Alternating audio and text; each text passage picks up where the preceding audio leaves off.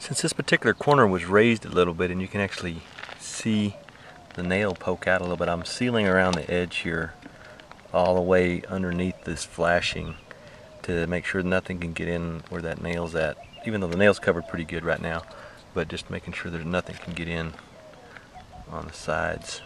And I'll uh, I'll finish tooling this down here.